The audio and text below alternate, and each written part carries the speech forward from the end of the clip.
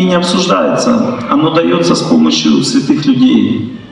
Имя должно быть дано в честь какого-то святого и соответствовать астрологически тем параметрам, тому, тому дню, которого он родился.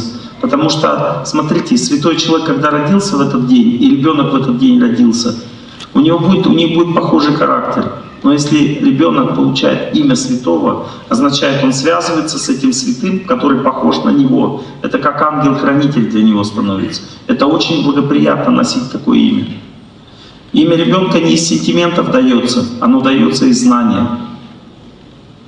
Но должно быть в той духовной традиции, в которой находится, соответствовать святому, который близок к этому ребенку по его духу. Скажите, пожалуйста, да? а как а, подходить к вопросу зачатия женщинам, у которых были аборты? Тоже, все то же самое, что говорили, есть какие-то нюансы? Два вопроса. Первые дни зачатия, и второй, что должна делать женщина? У которой были аборты. Очиститься сначала, очистить свое как? существование как? с помощью покаяния. Первые дни жизни ребенка очень... Первые семь дней жизни ребенка определяют всю его судьбу. Можно даже о судьбе знать первые семь дней жизни, 10 дней. Считается, что продолжительность жизни человека 108 лет. Ну, средняя орбита жизни человека.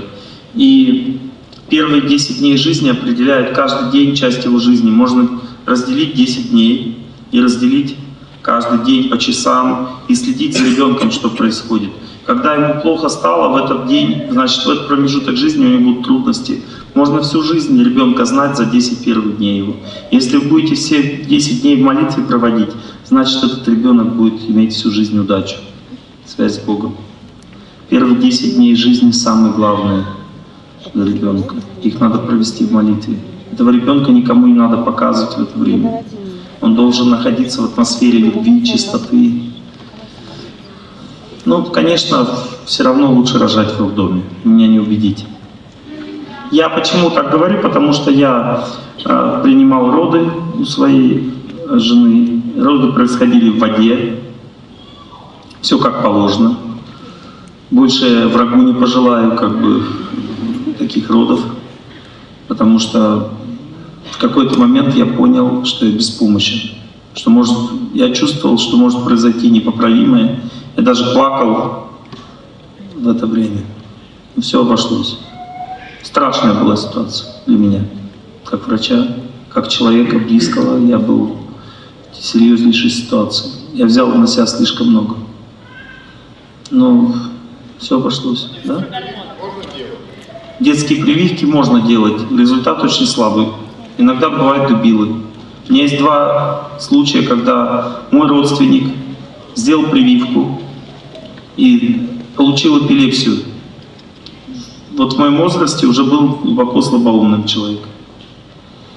Второй ребенок сделал прививку, и немедленно смерть наступила. Ну, мои знакомые, я вам говорю, в те случаи, когда я знаю. А то, что я не знаю, их тысячи таких случаев. Но, понимаете, все инфекции модифицируются в течение одного года. Так говорят инфекционисты. Все любые инфекции. Какие бы они ни были, за год они полностью модифицируются. И это означает, что это уже новая инфекция.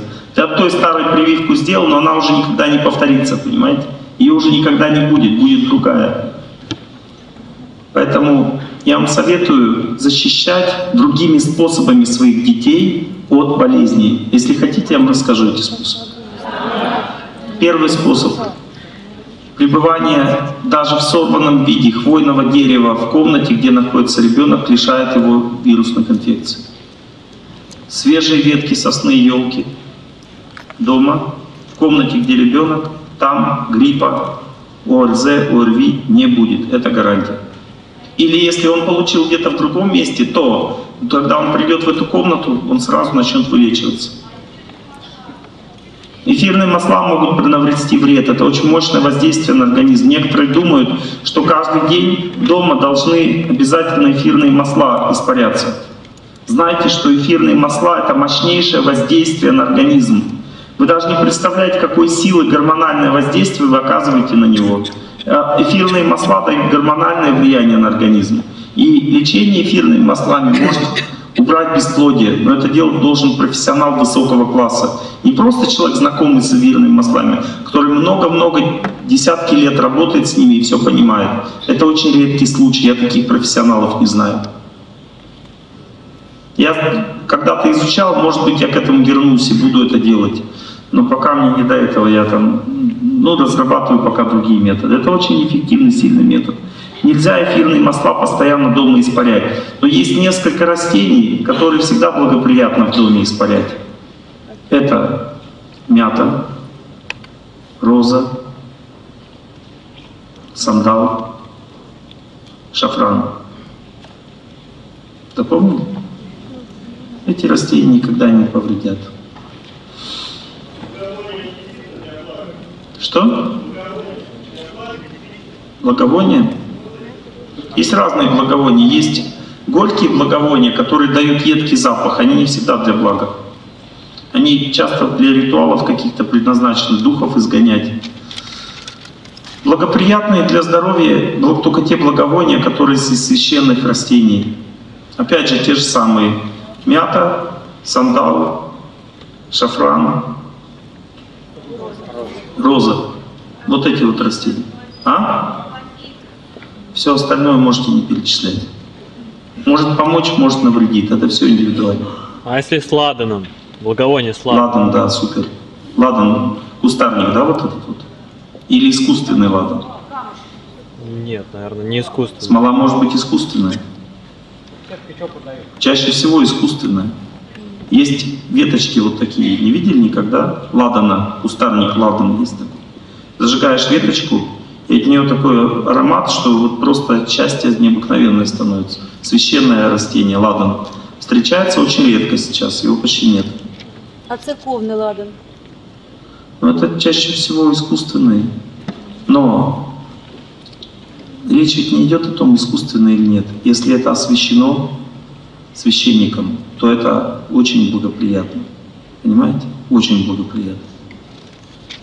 Может светильники, допустим, использоваться просто масло, вот это как его, из нефти. А? Нет, нет, из- Там какое-то масло, я не знаю. Используют часто в церквях. Это тоже благоприятно. Все благоприятно, что связано с храмом. Потому что туда входит Бог, энергия Бога входит, понимаете?